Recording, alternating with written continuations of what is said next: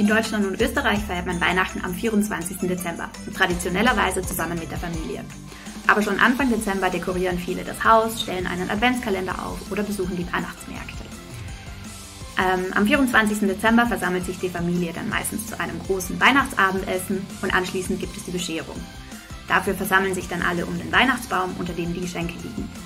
Viele singen noch Weihnachtslieder, es gibt vielleicht Weihnachtskekse zu essen und anschließend dürfen dann die Geschenke ausgepackt werden. Am 25. und 26. Dezember ist bei uns frei, das heißt, da kann man dann nochmal die Zeit, die freie Zeit mit der Familie und mit Freunden genießen. Also dann, frohe Weihnachten! We celebrate Christmas on the 25th with our family. We usually exchange gifts and then have a nice lunch or a dinner that consists of seafood, ham and a turkey. If it's really hot, which it usually is, um, we also might go for a swim after eating. Pessoal, boa tarde. Aqui no Brasil, a gente comemora o Natal no dia 24, na véspera, onde a gente janta todo mundo junto, Chester, peru, tender, rabanada, e as crianças esperam ansiosamente o Papai Noel chegar de trenó com as renas e um saco vermelho cheio de presentes para entregar presente para que se comportou bem no ano, hein? E no dia 25 reunimos a família toda de novo para comer o que sobrou do dia anterior e as crianças mostrarem os presentes casas todas iluminadas com as luzinhas enfeitadas e árvore de Natal de tudo quanto é jeito em todos os lugares. Um abraço. 大家好，我是秀恩，来自中国的上海。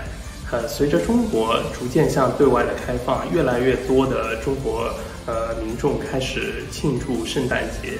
呃，虽然圣圣诞节还不是一个公众假日，但你可以看到，呃，在临近临近圣诞的时候。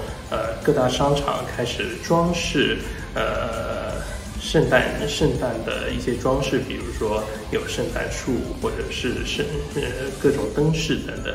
呃，我们会在圣诞的平安夜的当当晚和呃你的亲朋好友呃聚在一起共进晚餐。在晚餐之后，呃，你可以在大街上看各种烟花表演，或者是呃各种灯饰。En Colombia la Navidad se celebra todo diciembre con mucha alegría, color y música. Pueden ser villancicos, arroyos del Pacífico o ritmos más folclóricos.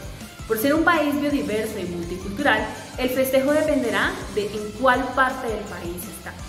El 24 las familias se reúnen, todo el mundo quiere verse bien y esperan ansiosos a la medianoche para abrir sus regalos. La cena puede ser pavo navideño o platos más típicos regionales como sancocho, asados, tamales y demás. En algunas partes del país las calles de los barrios se cierran para que los niños puedan jugar libremente y los vecinos intercambien comida y buenos deseos.